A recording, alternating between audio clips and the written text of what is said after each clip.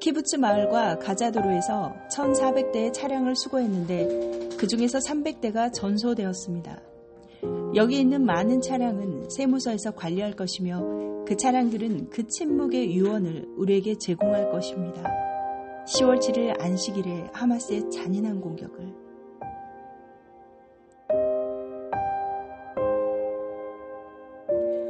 불타서 전소된 차량들, 수십 발의 총격을 받은 차량, 이 차들로 달린다는 것은 불가능했을 것입니다.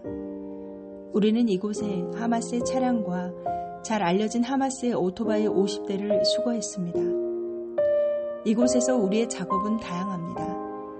우리는 이곳에서 자카, 국가보안기관, IDF, 이스라엘의 유물청과 함께 실종된 사람 찾기에 가치 있는 목표를 가지고 왔습니다. 유괴 및 실종된 가족들이라는 매우 민감한 문제를 다루고 있습니다. 불탄 차량들 안에 남아있는 뼈들은 DNA를 추측할 수 없을 정도로 불탔습니다.